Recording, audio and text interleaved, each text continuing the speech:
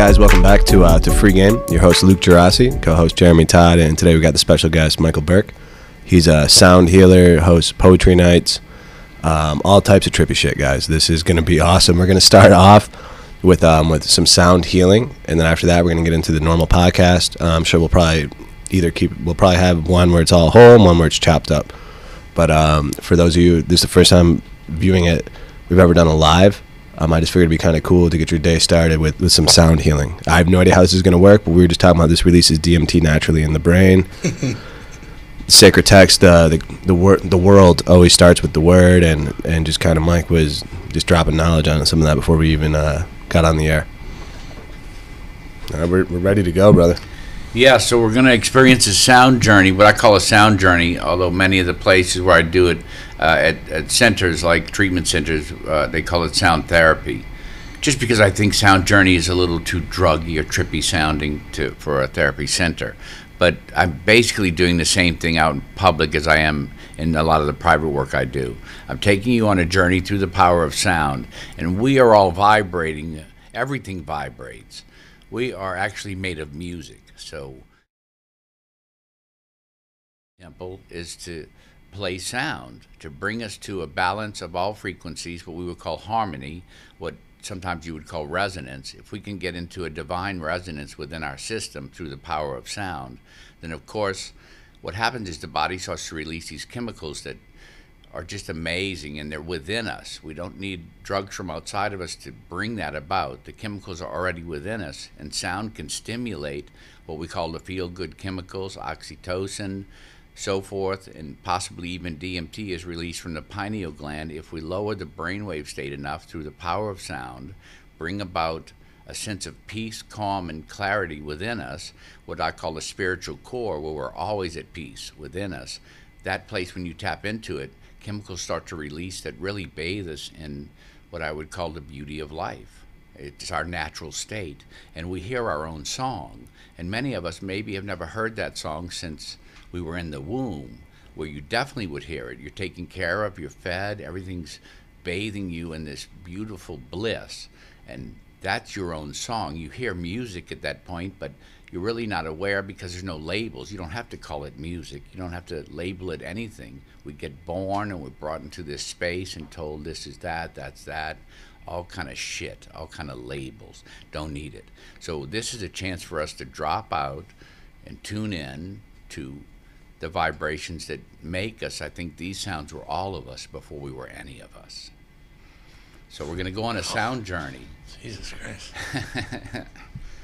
Um, Guys say- that are watching live, um, we were told the visuals don't really matter. Just close your eyes. That's why I know the camera work on this is kind of set up weird. For the normal podcast, we'll have normal angles, but um, if you guys are watching, just close your eyes and turn the volume up. It's very conducive to closing your eyes. We hear with much more than our ears. So when you close your eyes, it allows each string cell and fiber of you to actually hear sound because it's a process. So as you step into that realm with eyes open, you, you, you tend to say, What is that sound? How's he doing that? Or how's that sound being made? Doesn't make any difference. Close your eyes, open your heart, and free your mind. Let's go on a sound journey through the power of sound.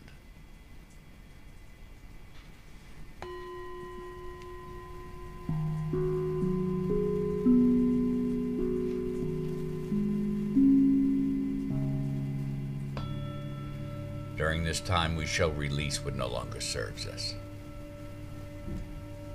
And we shall renew and refresh all it does. We're going to do this through the power of sound. Right here, right now. The only time there truly is.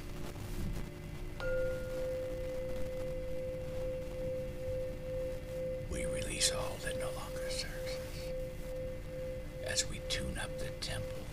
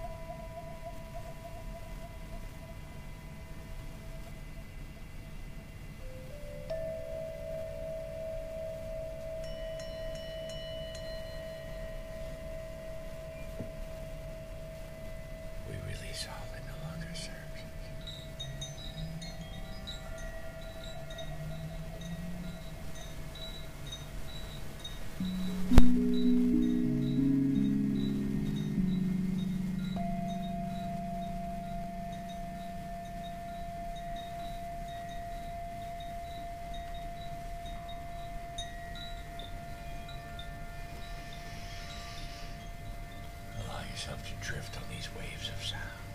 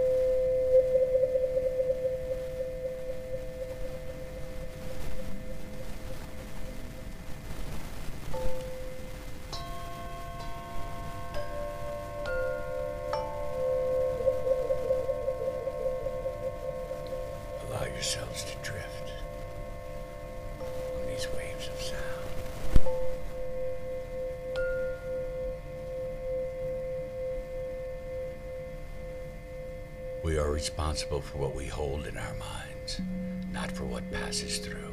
If it no longer serves you, allow it to pass through.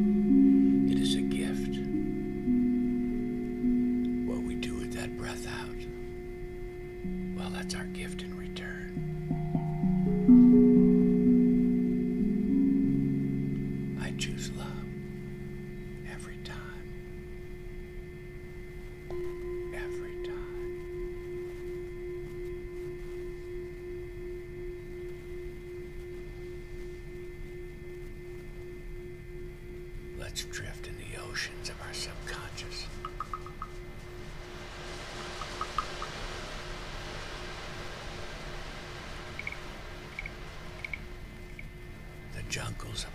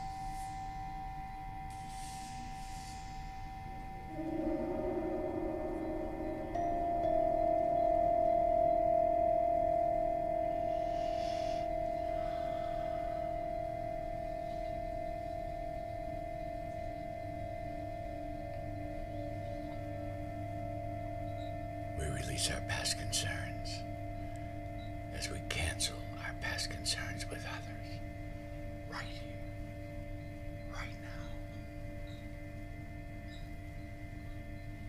Through the power of sound.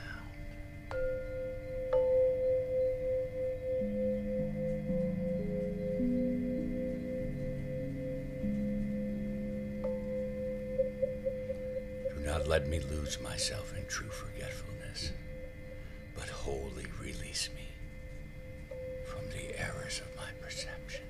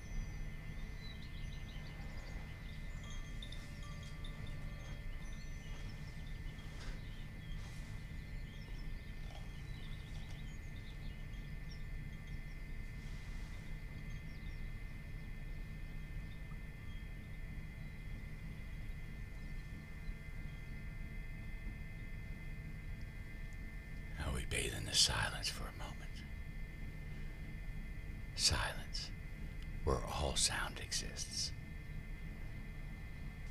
And maybe you still hear some music. That's the song of your cells. We are made of music.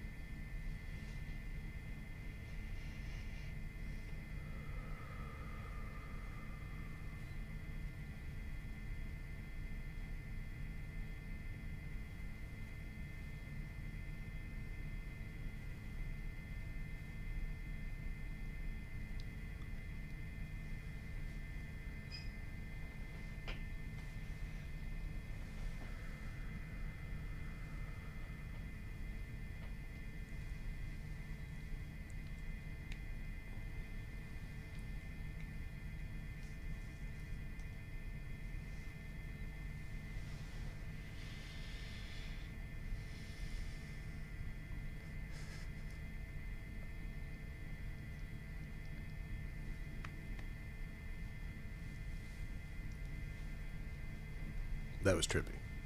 That was crazy. as fuck. Yeah, hand, hand me the phone. I, I think it. I think it went off during it, but So that's what I call a sound journey. now imagine an hour of that. I usually take people in a room, and it's all like-minded individuals coming for sound, laid out with the same energy. They all drift away, and at some point, there's only one of us in the room because everyone becomes this massive connection, vibration. You can't separate one from the other. So we are this deeply connected matter that we we consider ourselves a godzillion different points of light, but we're one. And this just proved it. We bring in an hour of sound. Please come out and join us at one of our events. It's it's very good for the soul. Like most things these days, if you unplug for an hour and plug back in, something seems to have reset. Something is tuned up while you exit the system and allow what I call the temple to tune up because we're just so busy with the fucking monkey mind and everything else that when we unplug for an hour, the body goes, wow, thank you for not thinking for an hour, just allowing. This is when allowance and surrender become incredible strengths. They're not weaknesses. When we unplug and tune in to the all, the oneness that we are, beautiful things happen within us and that's what we would consider instantaneous healing because some people are like oh i just i felt great nothing hurt like, of course we have that ability more power than we could ever imagine there's um. So sight is the most dominant sense, but um, when we sleep, the only sense that doesn't turn off is sound.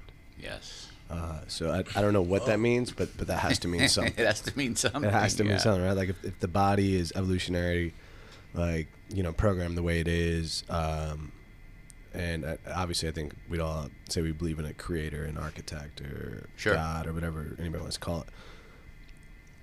The fact that you know sight's the most dominant is important. The fact that sound never turns off is, is pretty important to it. it must have a major importance in our unfolding as uh, evolutionary creatures. So we go from that sympathetic to the parasympathetic system, and uh, if we were awake during dreams, we'd move and shake and, and be involved in it. So it unplugs us, but we still experience it.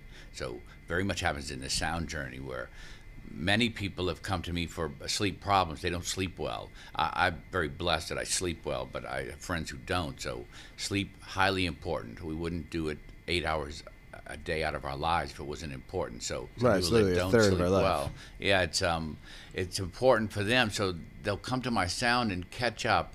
They really feel they've slept four to six hours in the one hour I play because I can unplug the system and bathe the the the brain and so forth in such energy that it thinks it rested, it thinks it slept.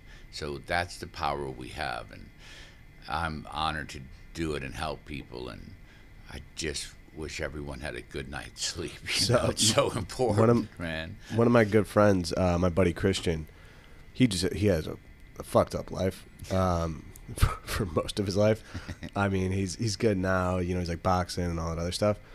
But he said he always had like these terrible nightmares and like night terrors and, and all that shit for uh, for a very long period of time. He said recently he's been lis- sleeping with like 432 hertz, Sure. the different frequencies. Yeah. I have to assume you're familiar with um, the different frequencies, and and Yes. why does that work that way?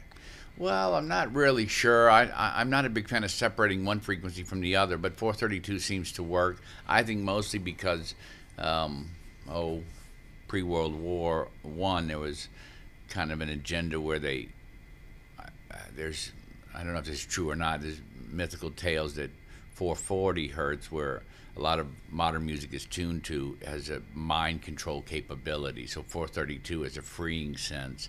It's more of a uh, absolute uh, frequency that allows people to be their own. Which My girl got me one of those little metal tuners where uh, she hits it and then like you know what I mean, do yeah, Yeah. and it, it creates like a peace and like a, a healing. It does. Some people call it the love tone. There's a little whistle out now that you can blow, and it's 432. It's just a good frequency for our.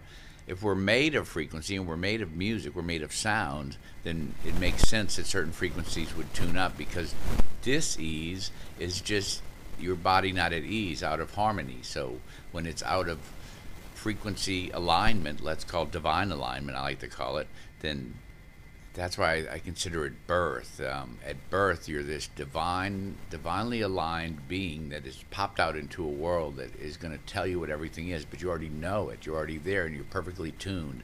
So you kind of go out of tune as you live. So this is a way to tune yourself back up, and certain frequencies can do that. It just makes sense to me as a vibrational sound therapist that if something's out of tune, I don't want to give it medicine or a drug or anything else. I want to bring the frequency back into harmony. and what's the with- difference between frequency and resonance?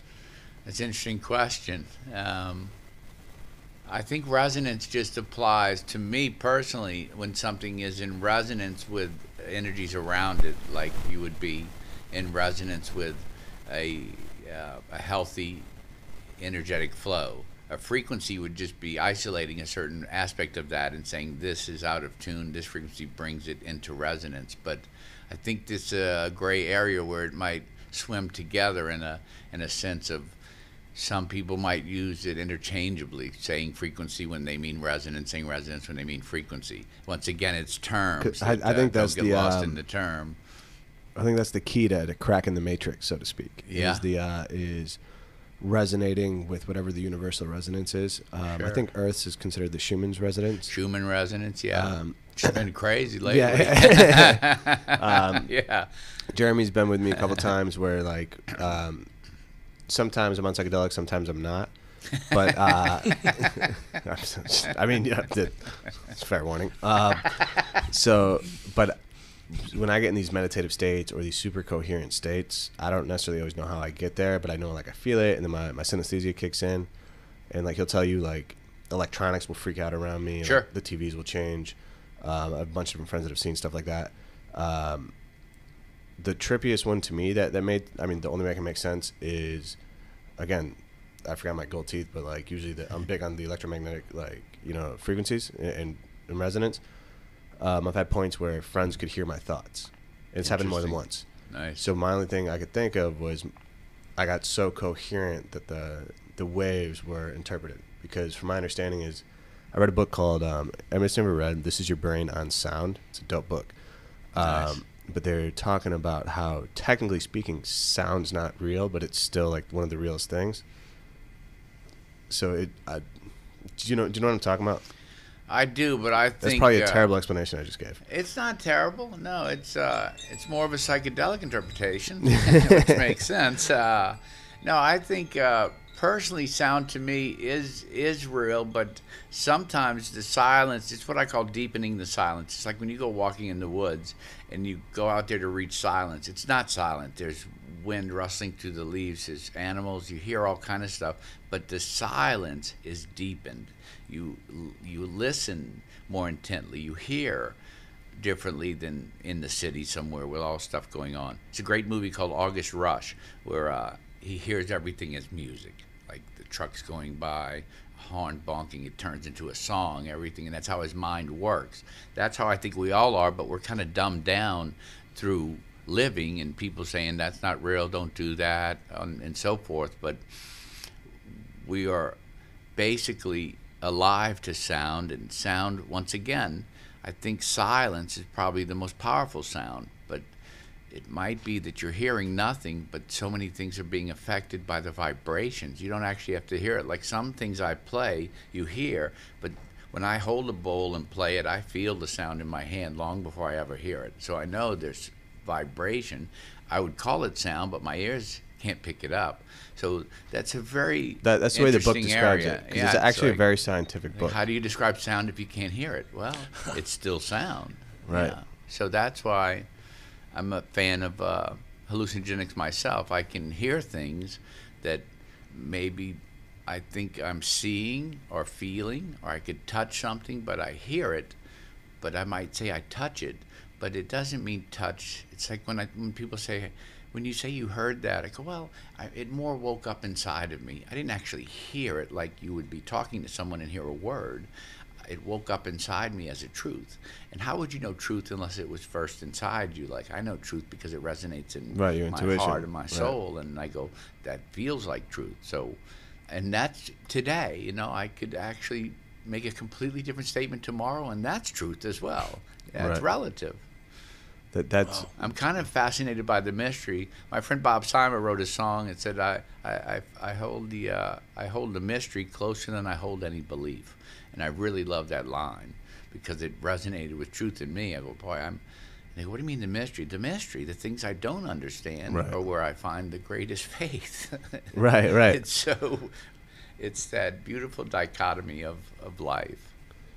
um, have you ever heard of of cymatics? Yeah, yeah, Uh, th- I just literally was watching a documentary. yeah. the Visible other- sound. Yeah, it's the cool. That's the coolest thing. Anybody that, that's unfamiliar with it, um, there's a documentary on Amazon Prime called "The Magic of Sound" or "Sound Magic" or, Yeah. or something like that.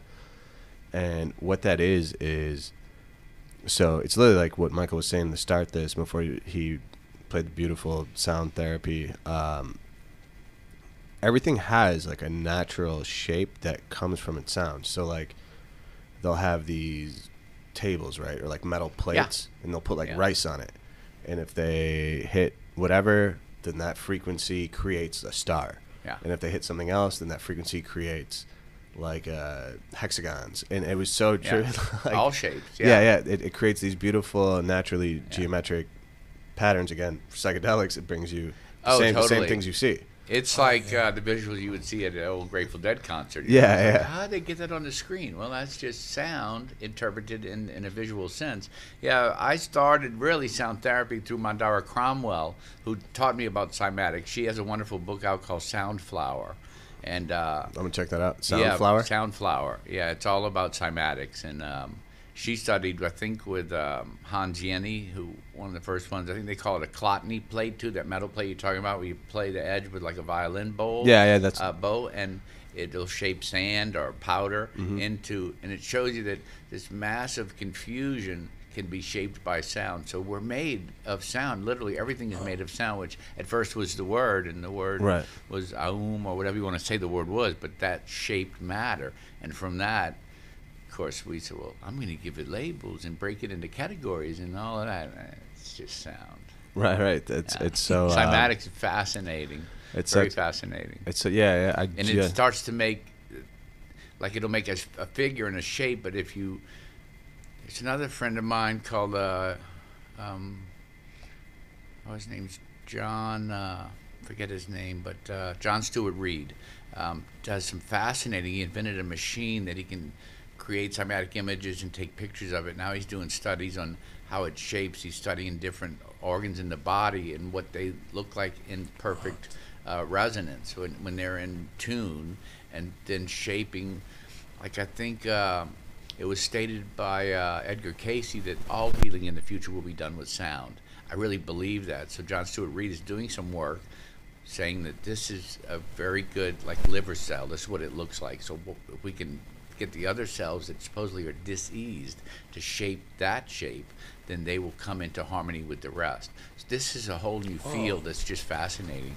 So it makes perfect sense. If we're made of sound, why wouldn't? If I'm going to go to the doctor and he's going to go, like I always envisioned I'd have a place called um, something vibration, maybe uh, vibrations, and it'd be a place on every corner where if you felt out of sync, just like a Starbucks, you walk and get a coffee, you'd walk into vibration and go, man, my left shoulder's hurt me a little. I, go, I got a frequency for that. Zip. a minute later, you walk out and go, man, I got That'd to zap me with a, you know, a 17 hertz. It did it, yeah. And then, oh, my neck's feeling bad. Is that a is that a is that a 432 hertz thing? yeah. And you treat yourself with sound, and the side effects all positive. It makes you feel good. There's no, you know, oh, and this will kill your liver, and this you could get side effects from. No, because really, there's no side effects. They're just effects. You know, fuck side effects. Be like, Right. comes a side effect. That's an effect. yeah, Yeah, it's not yeah. a side effect. Yeah, it might fix this, but it fucked up that. So. Frequency, I think, music in the future. I really think healing will be done with sound, and there's some doctors now killing cancer cells, doing different treatments sound. with sonic blast of, of So how sound. do you kill something with sound? Don't know. They're getting in with like micro frequency into a section of a cell and zapping it with the frequency that's Like guess the antithesis opposite of it. Yeah, and it goes zip, gone. Cancels out. Yeah, Is there opposite? There's of waves that cancel each other out, right? yeah, there would be. So there's- I don't know enough about it to speak clearly on it, but I, I've done enough uh, studying and reading, and different friends send me things where I go, oh, that's absolutely fascinating. I see it as an unfolding wave of intelligence and new medicine because ah, the medicine we have is kind of fucked up. Yeah, I mean, th- think of this, It's right? not, So help, it's not helping people, making them sick. So we want you to get better. We want dis-ease to become ease and go away. I think we can do that through sound. And I've seen it happen from what I do. Some people, they go, I just feel better after an hour of your stuff. There you go. That's a good start. Yeah. right. Yeah. And then it's and then it's keeping yourself away from the incoherent Exactly. Keep frequencies of your life. tune. Yeah. You know what I mean? Like, I I had a friend um, went through rehab and, and stuff like that. He was into prescriptions, and he works in like a really toxic place, right? Mm-hmm. And he's like, Luke, well, I'm, I'm meditating and stuff. He like calls me and like asks me for like mental advice and stuff like that all the time. I'm like, bro, you meditate for like 20 minutes an hour, but you spend eight hours in a snake pit. Yeah, exactly. like, yeah, it doesn't matter. The balance You know, like there, yeah. you're still losing seven. You know what I mean? Like eight minus one is seven. Like Yeah. it's negative seven every day. Um, so I mean that, that that's definitely something that I think people are going to start to get more, con- hopefully get more conscious of. Um, and my my girl was telling us the other day. I, I didn't know. I actually haven't double checked it, but um, the sound therapy with bowls and water is illegal in Japan right now. Yeah, I did hear her saying that at poetry the other night. uh, Um, it, probably because it's taking away money from big pharma. yeah. right? Yeah. I felt yeah. a little fucked up after that. Uh, yeah, like, like 10 in- minutes, in, a good minutes. way. Yeah. yeah, Yeah, yeah. yeah. No, in a good way. Yeah, I was just kind of like, I don't feel like talking right No, now. No, I've had many people. I had uh, one of the shamans that taught me a couple of the chants I do, and then I just kind of went off uh, in a different direction. I asked him about chanting. He goes, "It's what we would call soul songs in my language, Mike. You can you can do the chant I taught you, but if it starts to drift into other things, then you're just chanting. You're you're doing a soul song. If that's what's coming through, then it's resonating out of your heart, coming through your throat. The most powerful voice, the most powerful instrument I play is my voice. So It sounded native when you were doing yeah, it. Yeah, totally, totally. And he said, man, if you got one drop of Native blood, Native American blood in you, then you're Native American. So you probably have more than that, Mike. So just keep chanting. I just checked with him because I didn't want to bastardize anybody's language or, or violate any any beliefs. And he goes, no, no. If it's coming through you that way, that's the way you do it. And a little bit of what I say is, is Aramaic, which I don't know either, but a friend taught me a little and found out that the Aramaic and the Lakota, very similar alphabets, very similar. So it makes Well, sense that I do that's it. trippy. Yeah, yeah. That would have been the language you would have heard Jesus Yeah. speak if you'd have been hanging out with Jesus. And I had great visions of Jesus when I started doing this of laughing, joking, hanging around, playing music with his friends because you know, I grew up Catholic and got over that, but uh, it was very much focused on the last section of his life, which was kind of miserable. And uh, The irony of it all is, is the simply Jesus. All the beautiful things he does, Yeah. what we symbolize him with, is like his worst part. Yeah, and I'm sure he'd I'm, come I'm sure Jesus would be like, "Yo, that's the part. that's what you chose. Like the that- other cross, you that's that, that that's where you guys betrayed you see When me." you walk in the building, are you kidding? Because the first time I went to Unity, where I run a Sacred Sound ministry, they had a picture of Jesus laughing on the altar, and I went, I'd never seen a picture of Jesus laughing. Go, of course he's laughing, and he would hang out and have fun with his friends, and you know, he was just a cool cat. I I think there's. Yeah. Um, I never thought about it, but I had major dreams and got into sound and thought, oh, he's speaking to me through sound, through vibration. There's no doubt about it. And it wasn't to celebrate his death; we're celebrating his life. Yeah. Yeah. Yeah. I love the picture of Jesus laughing. It was Yeah, so yeah. Cool. You know what's interesting about that? Um, Cornell, West, I think it's Cornell West, is was saying um, he studied, you know, philosophy, and, and Cornell West is pretty religious. Sure. Um, he was talking about how there's no actual thing of Jesus laughing, and nothing of Socrates crying. Wow. And he was like, our two biggest philosophers in the Western didn't Yeah. didn't partake in the in the two most Yeah, important they're emotions. stoic. yeah, You know what? Um, I'm sure they got I'm- high I'm and s- I'm sure- behind the dumpster. oh, hundred- a hundred percent, a hundred percent. Water to wine, baby. So um, the the word fruit uh, can be interpreted in Hebrew as mushroom. So fruit of knowledge, what would make a little more sense? Totally. And what grows everywhere. You know what I mean? Um, and also like when it says like uh, baptized with Jesus in the holy smoke. I forget what verse that is. Yeah. Um, in the language, smoke was also interchangeable with incense, which at the time was salvia and marijuana. Nice. Um, it's called weed because it grows everywhere. So to think that they wouldn't partake in something like that or go in a desert for 40 oh, days, totally. 40 nights without. They have mana, and uh, how do they go 40 years wandering around? Something Eh. gave them nutrient, and Yeah, yeah. it was, uh, I think, sacred. The sacred bush- mushrooms, sacred plants. Uh, what the, what the universe put here for us to use as. I don't even like to call it medicine. It's just really life. It's earth, It's yeah. how we, we bathe ourselves. We don't need pharmaceuticals. We need Mother Earth. Yeah. Um, the That's why most of my chanting is honoring Mother Earth and, and the whales and yeah, yeah. it's Gaia. just the song Gaia. keeps us together. That sound. Are you familiar with? Um, I forget the name of the bush that they think the burning bush was. Uh, Soma, um, that might be it. acacia. Acacia. Yeah. Acacia. They think that's the burning bush because that's native I in that area. Yesterday. No, I'm just kidding. So the the burning bush, the the acacia. If I um, if that's the one I'm thinking of, that's Yeah, that produces more natural DMT than any other plant, Yeah, and it often amazing. catches on fire. Yes. So they were saying that Moses realistically probably did see a burning bush and did hear. I mean, I've talked to God in DMT.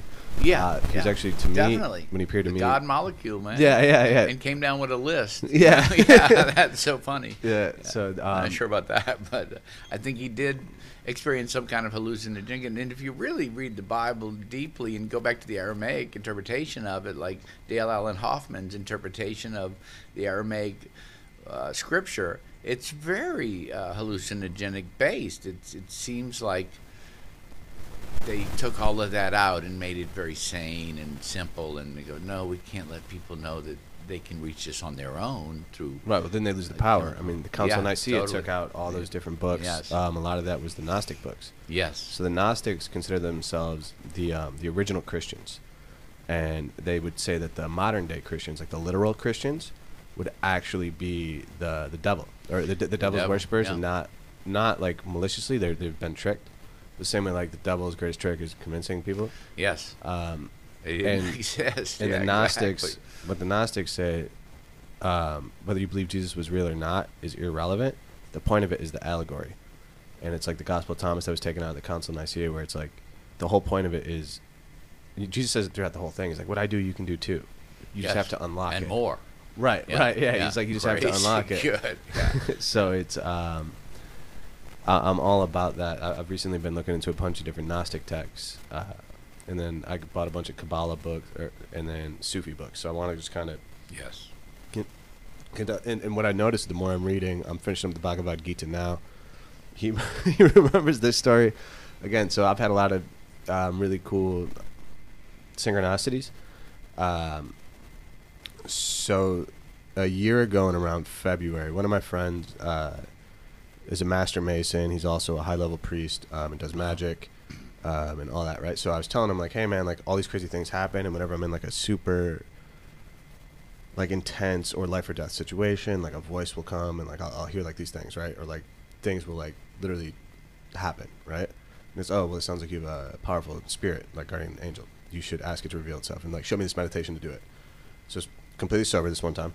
Um, I'm walking up the stairs. I just want to throw that out because I've been talking about psychedelics a lot. Caveat. Yeah, yeah. So it- it's it's important that, that I wasn't on anything. Was high. No, he wasn't. He Yeah. was, he was not. So- not this time. No, no, no. I'm trying, I have no problem admitting when I am. Um, so I'm walking up the stairs and I feel the energy, and I was like, "All right, you know, my guardian spirit, please reveal yourself."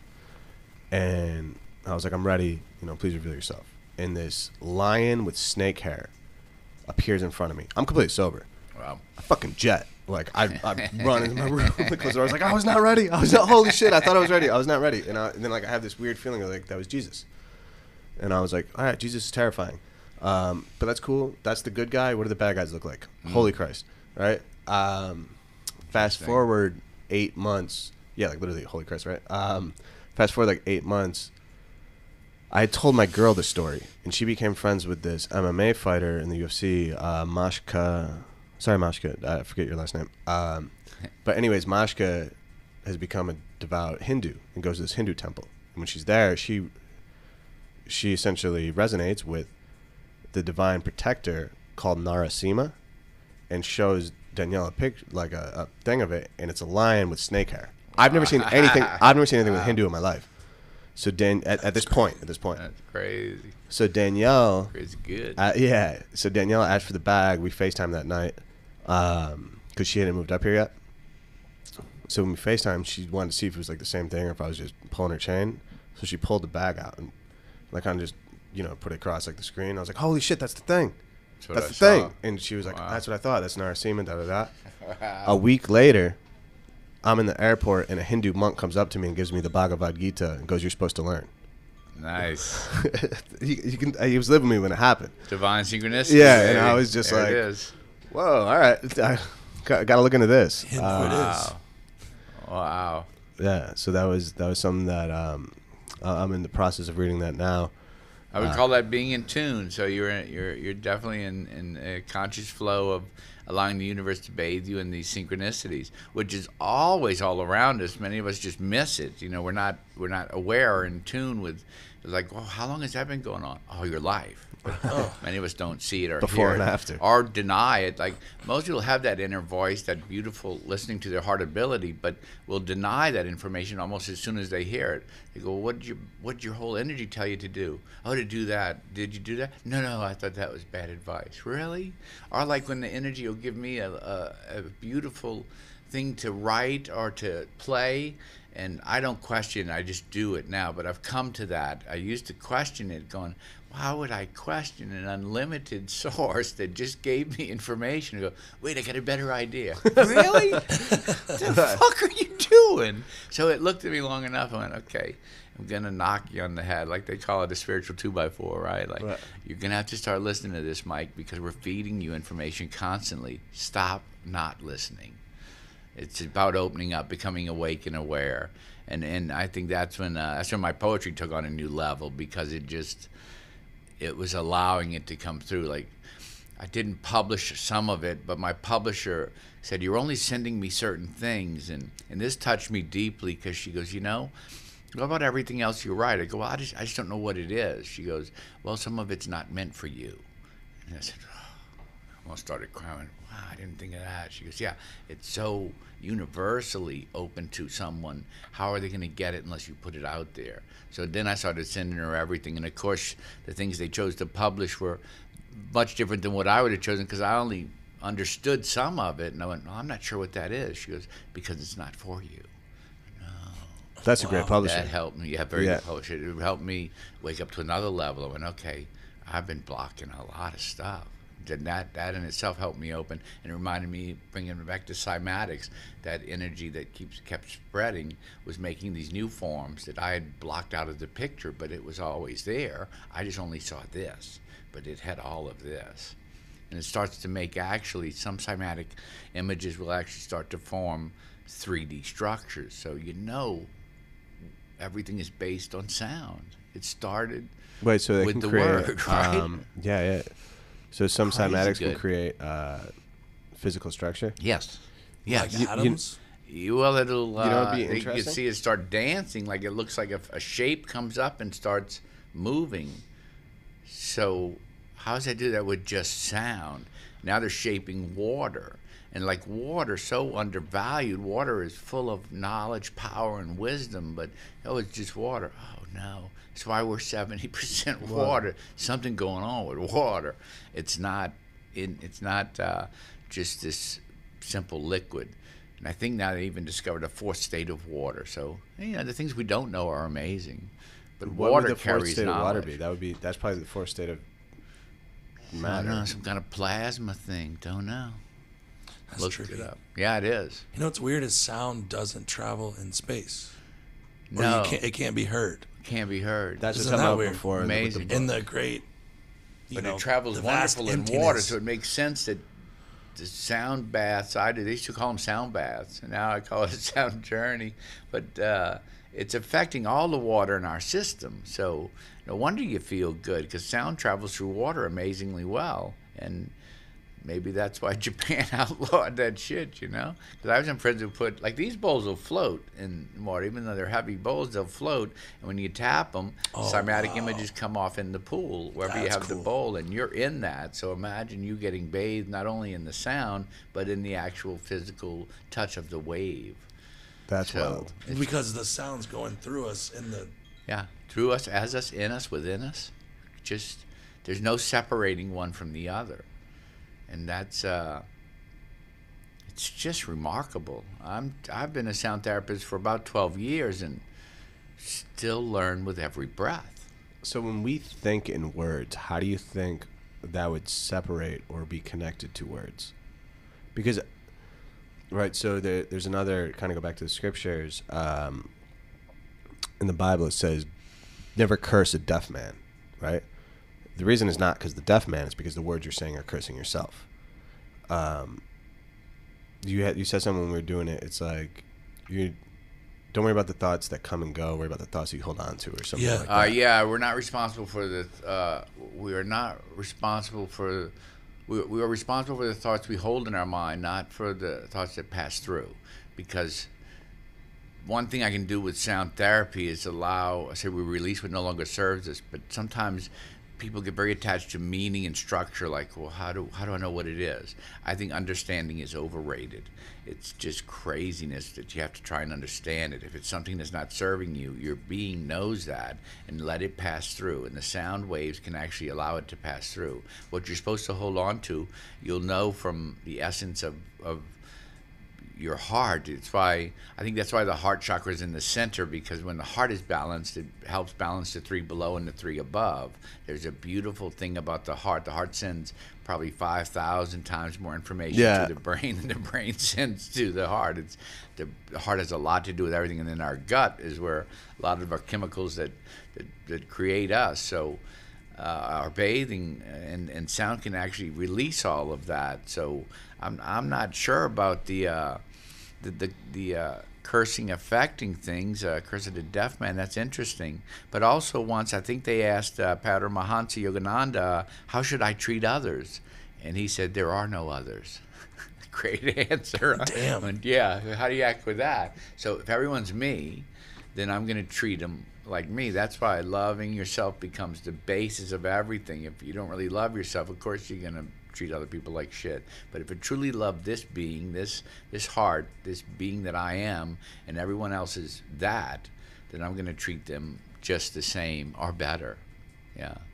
It's very interesting. It is very interesting. Um, I'm, I, I keep focusing on the cymatics now and how sound creates structure and, and physical. So I'm wondering how our thoughts and the words we speak affect our actual, and probably the words we hear, affect our physical uh, manifestation, right? I wonder if somebody only spoke nice or coherent or beautiful or, or resonant words, if What that would would affect happen, their yeah. physical I they, think they so. might be more attractive, right? And somebody has resting bitch face. I wonder if they're thinking shitty things. Oh, all the wow. time. yeah, yeah. You know what I mean? I think it's point. also, but uh, but just the thought itself is uh, a thing, you know. So I don't know if you have to speak it. The energy that you create thought with, that you, if you're thinking it, So to I'm wondering speak I- it aloud is what the thing. difference between thought and sound is. It might be the same thing. it might be that you know, just like uh, some sounds I play you can't hear, they're still affecting us. And cymatics in the pool is a perfect proof of that. It's like I can't hear that bowl, but I see the energy coming off of it. So if I'm thinking something, but I didn't speak it aloud to you, it probably still has an effect because the waves of that thought energy are moving out and affecting the field around me. So it's probably affecting So you. are, are thoughts electromagnetic from the brain Yes. and then transferred They're- to sound they're through our EEG vocal waves. cords? Yeah, I think it's a, it's hard to separate one from the other. They're Yeah. both. Yeah, so you could measure it in many different ways, but they're everything. It has it has a wave of reality that we could measure, but there's also imagine what's going on that we don't have instruments to measure. Like Right. we don't know that it did that. Well, ever- we ever since my friends- that. Go, oh, it's always done that. No, it just started doing it. Bullshit! It's always done it. We just didn't know how to measure it. Right. Yeah. Ever since my friends heard Craziness. heard me thinking on more than Yeah. one occasion, I was in the same resonated state. Nice. It's, it's affected my whole view on, on it, and I was like, huh. I like it. I wonder, like, you know, I wonder how much, and how sometimes, like, when I get in that, that the electronics react to me. And my only thing I can think of is almost like when you press a button on a remote control, it sends out a resonating frequency. Yeah. So exactly. our thoughts must be shooting out through like third eye, who knows, or whatever part of the body, maybe the whole thing, maybe the heart, because the heart shoots out the most. Yeah. Amazing um, electronic field coming yeah. out of the heart. HeartMath Institute, wonderful Yeah, thing yeah, to yeah. look into. It's just fascinating the studies they've done and every day coming out with we didn't even know that, you know, and I was fascinated what they discovered ten years ago. What they're discovering these days is amazing. Have you noticed a difference in how you feel when you put the sound bowl in the water instead of hearing it, feeling it, so to speak? Uh, a little, a little bit, um, but once again, it comes down to my belief that I, I, I think the sound bowl. Like I used to take a bath and I'd put a bowl in the tub with me, and I'd just let it float around. I'd tap it and just close my eyes, lay back, and let it float around. And I felt it was generating, let's call it. Uh, sacred essence in the water. I felt like my bath water had become more blessed or, or more for some reason. It just felt, I said, oh, this bath is better than the one that didn't have the bowl. But once again, that comes into a judgment thing. I don't know if I'm judging it. Always good water, but when I put the bowl in it, I Either way, the effect is real. Yeah, yeah. Placebo because- or not, the effect is real. Yeah, yeah. Um, that got me thinking about when And people. if I believe it's real, that's it. And that con- that inner conversation is our most important one. Like if, you, if you're having these terrible thoughts about yourself, that's really fucking up the system. Yeah, you know, it's so you have to be. Like I used to have a lady that uh, one lady taught me some stuff about energy. Said uh, I would joke sometimes about things, and she would go, "Don't even say that. Cancel that. Cancel that. That thought doesn't know if it's a reality or if you're joking. So you just sent a, a bad wave of energy into your system. And I didn't get it at first, but after a while I felt her and I went, wow, I should only really state things that resonate with truth and joy and beauty within me and not even joke about that. But we kind of grew up in New Orleans, you know, ragging one another, and Yeah, it yeah. was it was funny. So I thought, well, humor's good. And she goes, yeah, but if it's a negative thing, that negative stuff has power. It will it will vibrate energy in a negative way. And I, interesting, very interesting. when I, when you were just talking, I was thinking I'm only going to speak positive, and I felt a negative um, aspect. So I'm, I'm very in tune with my my sensations. Yeah, So I think that there has to be some negative for the balance, right? The same way with the world, right? All think life so. has to eat life to stay alive. Well, I think that's why I was born a Libra. I have to be. I have to stay in balance. yeah, totally. Like uh, I don't know if any of that's true or not true, but I find balance is, is the most fabulous thing when I'm really like over positive. Some people like you just crazy with the positive shit, Mike. Cut it out. yeah, and then you know, like it pisses some people off. They're like, "Why are you so happy and laughing?" I go, "Really? Does that make you angry?" that makes me confused because I, I don't know why that would piss you off. Yeah, they do. I just can't take someone as happy as you. Crazy. But that energy, I go, that's some kind of balance being brought to me by the universe. It can't be a bad thing. It's a, it's just a thing. So after a while, I just stopped labeling anything. I go, it's just a thing. They go, thoughts are things. You watch what you think. I go, well, I do, but I think there's a balance to it all. It's good, it's bad, it's right, it's wrong. I, I think I wrote a poem about it at one point where I said there really is. Stop with the judgment and the labeling. It's just, I, think divine order is never out of order. So when we interpret it as being out of order, we're probably creating a, a, a negative impact on whatever is happening because we're judging it instead of just allowing it. But that's uh, that's a very Buddhist way to live and a very very uh, cosmic uh, consciousness, and sometimes in the world we live in and doing business or booking a job, whatever, you have to actually think and act like a human. Because some people are like, yeah, sorry, I can't deal with you right now, Mike. We need some kind of definite answer. yes or no? I'd like to say something about that. No, no, no, no. yes or no? Okay, whatever. I I, rec- I recently just read a, a book called uh, Super Forecasters.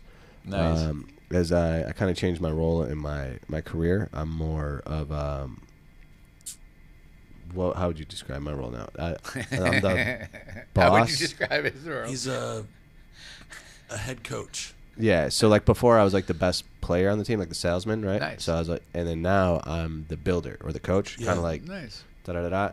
So one of my best traits is is I can usually read people and trends and place people where they're gonna be most successful.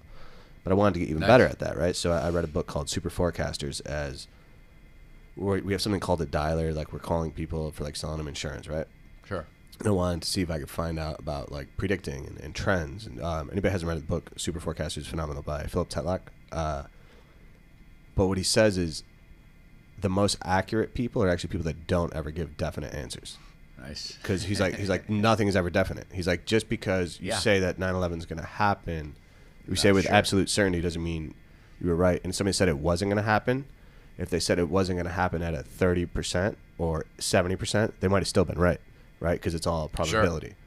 Um, so that's kind of interesting that you said like the definite, and, and I'm somebody that's always like, well, because I literally before I make any decision, they'll, they'll tell you like every big decision I make, I'm, I'm super, I'm fortunate, I'm logical, um, but I go off of intuition. Yeah. So like I'll use logic, and then I'll, if my intuition tells me something completely different, I'll still go with my intuition. Use your brain and your heart. yeah. So I think that's exactly uh, where I'm at, and I, I seem to function very well, and it works well for me. And, and my career has brought me to a, a something I do for a living that is very open to interpretation. No one really n- is sure what I'm doing at the places that hire me, which is kind of funny. But like us today. yeah, yeah. But they go, it was something about it. It made me feel better, and our clients like it, and the, the energy feels better in the building. So we like what you did, but we're not exactly sure what you did. Kind of perfect, because then I can do whatever I want, and I'm not sure what I'm doing. So was say, you're- you're It- not sure what you It fits in perfect with me. Yeah. Yeah. and I couldn't do this every day of my life, and I, I play sound almost every day of my life somewhere doing for someone.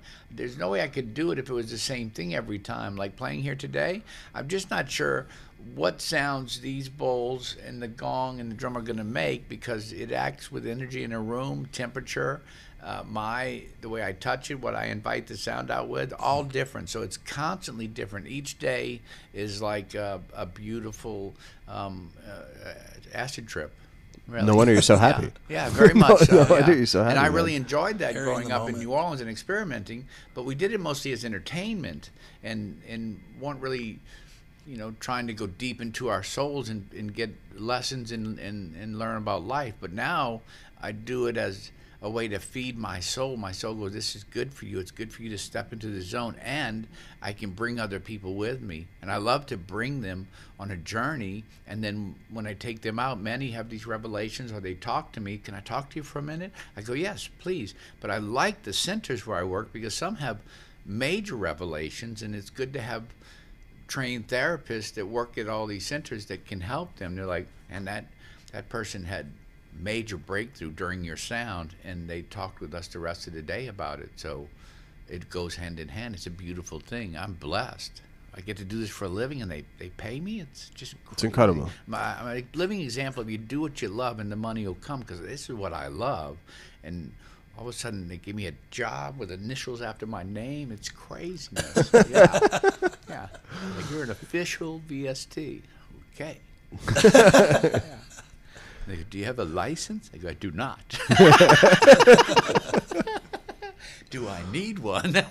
because I'm probably going to get out of the business if I need a license to do it. Yeah. Yeah. Doesn't make any sense. Just be hired on the side. Under the, yeah, exactly. Mike was in at the beginning. Now, now you need licensing. Yeah, I got out of it.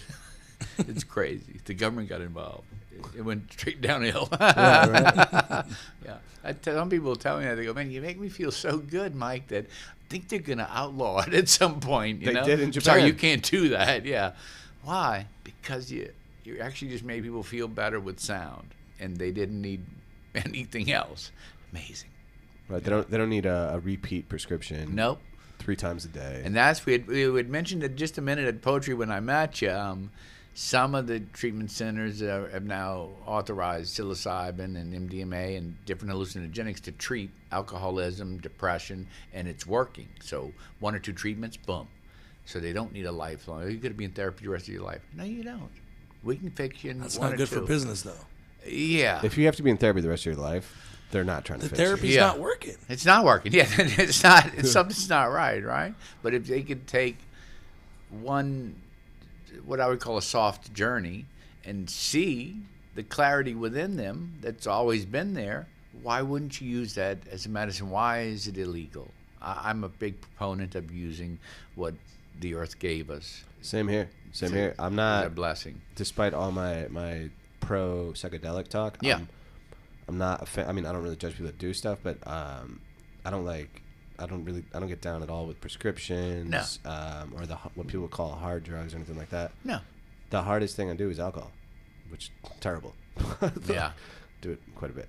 Um, that, that being said, um, and then other than that, just Probably would take you some time in sending me the email. Yeah, yeah. I lost exactly. I was not responsible this weekend. that was a funny message. I know I like him even more. Yeah, yeah, yeah. I was supposed to send Mike an email with the questions, and I was Didn't just like, do anything. Yeah. "Sorry, dude, I just wasn't responsible Sorry, I was not responsible. Yeah. Yeah. It's another. I'm- I'm not a another- bullshitter. Another feather in your cap, as far as I'm concerned. I'm like, I like that. yeah, yeah, yeah. I'm, I'm not. I'm not a bullshitter. I told you that. Don't count on me. Thank you. yeah, you'll fit in my group very well. That's. He's like all my best friends. I can't count on him, but I love him. yeah, it's, it's honest, you know. Yeah, man. I mean, don't tell me you're going to be there because you might not be. I might not be. Okay, that's honest. Yeah. All right, man. it's funny. Yeah, so I met Mike. I don't know if I told you. I went to. Uh, I don't even know where we were going. Um, Danielle and I were just. My girl and I just randomly. I like walking, so this. Jeremy became my co-host. I, I had a, a vision of maybe not vision. I had a feeling of this podcast coming to me, two years ago, and it was like um, I wanted to learn and have free, objective conversations with interesting, intelligent people that are that are masters of their craft or their field Nice. and the whole concept was like the allegory of the cave. Uh, I'd probably talk about this in every episode, but whatever. Yeah. Um, it's. Are you familiar with the allegory of the cave? by I Plato? am. Okay, perfect. everything is a shadow. You know, Yeah, yeah, yeah, You so- base your life around, and it's like none of it Right. was real. Right, So it's all an illusion. Exactly. So My, my, whole exactly. my my whole thing was how do you show people the light without them wanting to end you? And I was so like I, I I juggled with that for years after hearing it, and I was like, oh, you have to put the fire on the peripheral, and when they're ready, then they'll come to it. But if you bring it to them, everybody has to be their own savior, right? yep. So the point of this show is who knows when it will get big, but I know it will. And people will find it when they're ready. And I'm Totally. gonna have so many episodes and all these different things, and it's just gonna be people like you. Uh, we just had Cjo. Oh, um, we had Di- Diamond Chic. Um, we had Kevin. We we had Rock. We have all these different interesting people, Nice. right? That are just experts in their field and doing their own things. And that's what we want to do with this. And as soon as I talked to you, I was like, this dude gets it. Like, uh, that's why I, I Yeah, wanted to have literally we met Friday, and I'm on a show Tuesday. Yeah, so we ju- we just met him Friday good. night. Yeah. um, is a poetry. Yeah, and I heard your poetry too, and I said, "Well, I, li- I like him. I like your, uh, I like your poetry." So, the, the depth of your thinking was beautiful, and I thought, "Well, there must be a pretty cool podcast." Yeah, the, the one the one that I did was called Out of the Cave. Yeah, yeah, it I forgot about that. Yeah, th- I did Out of the Cave there. It was a good gathering. That was. it Where was it at? It's a place called Phoenix and Dragon, Phoenix and Dragon Bookstore in Roswell, um, right inside the Loop on Roswell Road. I host a poetry night there the second Friday of every month, seven to nine, and we just gather poets, artists. Uh, sometimes we get people singing or, or um, writing a uh, reading from a section of a book they might read. They might have written a prose. It's not necessarily poetry. We just encourage people to come share in the creative ability. And Nice. Candace, who owns the place, usually has a different artist there every month in one of the rooms that local artists that she promotes and just lets their work speak for itself for a month. And uh, we've been doing that probably 15 years, and just so many so many people will come in and go, well, I'm not a poet. I, I just want to listen.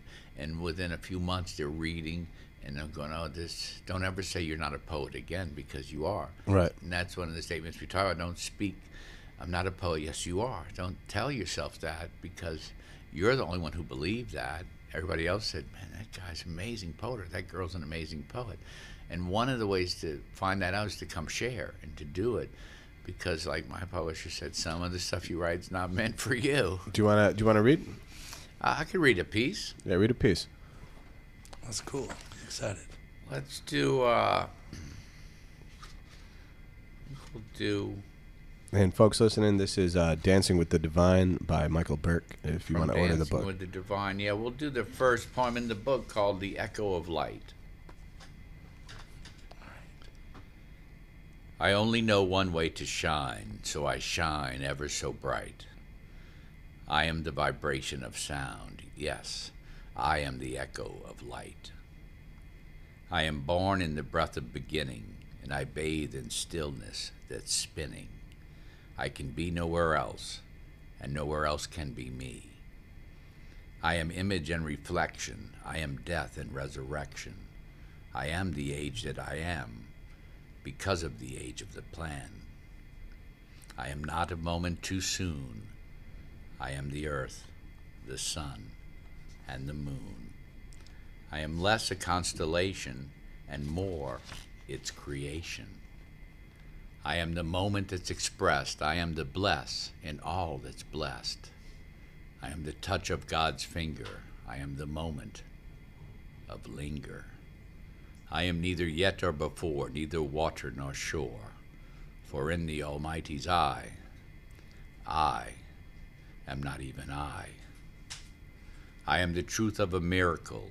I am fluid and lyrical. I am the song I am to be through the art of harmony. Know that grace is the sound and Christ's consciousness is the key. I lock into worship, and worship frees me to see that I am the moment before the moment is me. And I shine. Yes, I shine ever so bright.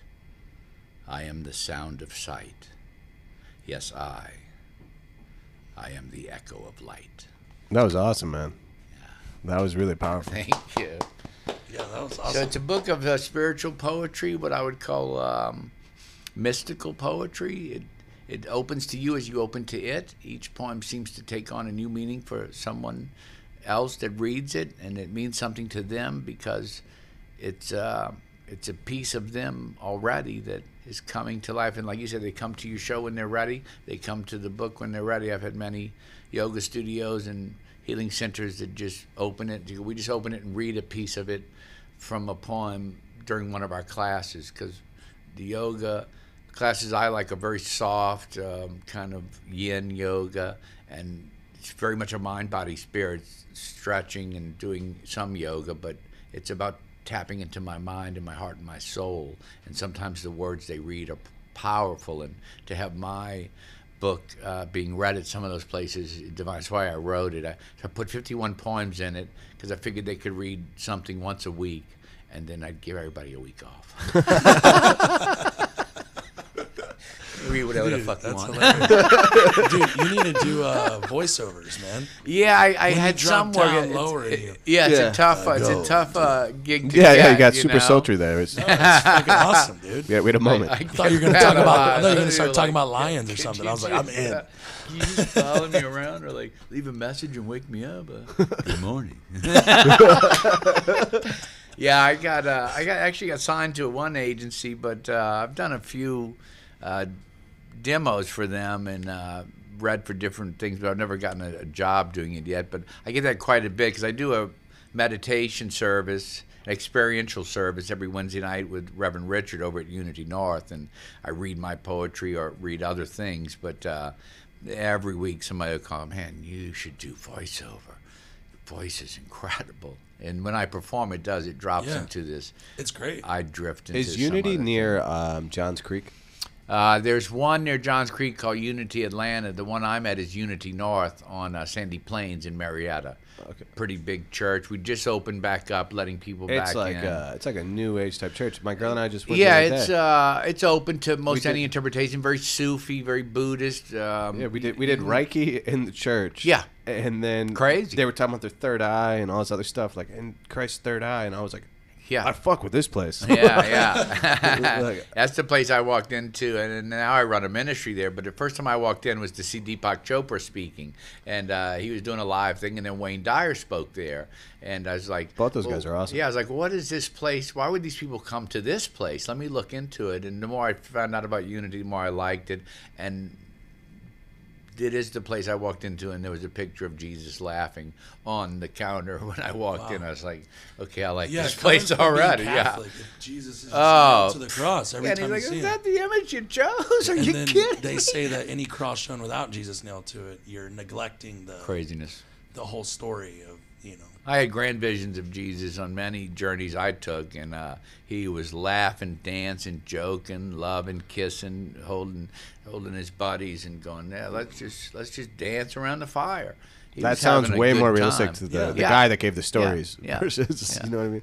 It's a lot more consistent. And at the end, they hung him from a cross, and you're really, that's that's what you went with? Right. He just held on to that one. When, when when when human Damn beings it. when human What about beings the betrayed other him, stuff I yeah, did, yeah. Yeah. Damn it. yeah, they just focus on the resurrection Yeah. from that. they don't even focus on the resurrection. They just focus on the cross. Yeah, the resurrection's once here, Easter. That's it. Crazy.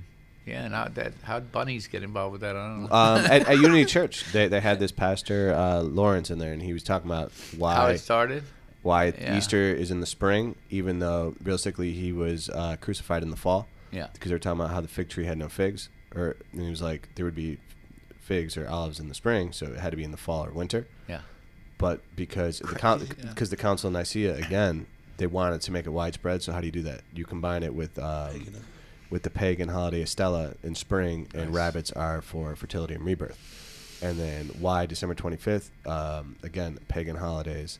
And realistically, I, I think they said that he was probably, I forget, he pointed to another thing in the Bible where it was like, realistically, he was probably born actually like in the spring. They reversed Right. the two, Right. um, like spring or summer. They actually reversed the two just to make it more palatable for for the common, you know, Yeah. person from pagan roots at that time. Craziness. It's almost like they're using it for power, They are. It's, using the religion Yeah. for dominance. Yeah. well, that, that's the to whole manipulate yeah. the uh, masses. Yeah. And in those days, really, it's how they did it because there was no press. There was Yeah, you had Yeah. to unify people somehow. you were taught by the church. I remember I wrote a poem once called "Soul Proprietorship" about my Catholic experience and how I came about to where I am now. But part of that was that, you know, the Catholic Church really was adamant about no questions and this is the way it is. And I was a troublemaker because I said, "Well, I got a question." I'm sorry, you can't question that.